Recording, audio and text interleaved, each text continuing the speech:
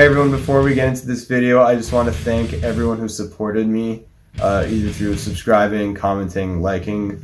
Really made this an enjoyable experience. After this video, I have one more cover coming up, and that's probably going to be my last for a while. It's going to be a collaboration with someone. Moving forward with this channel, I, I want to do a lot of original content, such as reactions, uh, remixes of pop songs or medleys, uh, songwriting challenges, original music, and just like more collaborations with either other YouTubers or just like friends of mine. So please subscribe to the channel if you haven't and just like keep liking and commenting like you have been. It really means a lot to me and it's made this a very fun experience. So with that being said, enjoy the video.